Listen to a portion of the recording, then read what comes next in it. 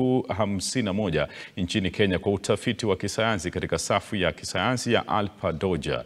Akizungumza kwa wakati wa maadhimisho hayo, Profesa Chancellor wa chuo hicho Daniel Mugendi amebainisha kuwa chuo hicho kimewekeza kwa kiasi kikubwa katika elimu ili kuimarisha pato la utafiti wa wafanyakazi wa taaluma licha ya kukumbana changamoto tangu kukabidhiwa kwa hati miaka sita iliyopita.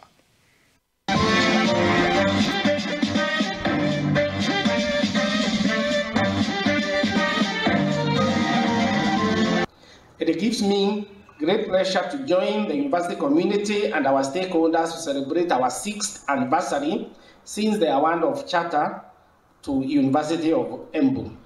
It is always a pleasure to have such a gathering here to celebrate the birthday of a distinguished institution like the University of Embu. I want to congrat congratulate the University of Embu family and all our stakeholders for being part of the parcel of what has been outstanding six years journey of exceptional transformation from a small constituent college with 123 students to a fully fledged university today with 11,717 students. The University of Embu is clearly an institution that cherishes quality and excellence as evidenced by the rapid development and top rankings that we have enjoyed over the last few years of existence.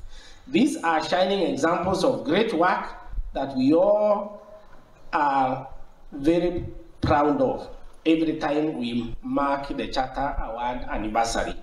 Today, we are not only celebrating the growth and development of the university in all spheres, we are also celebrating the success of our students and our alumni wherever they are. The fact that the days when customers had no choice on many things, many products, institutions to go and study, and so on and so forth, are long gone. During our days, when you are given a space in the university, that was it. It was the only university. So you either go to the University of Nairobi or go to the University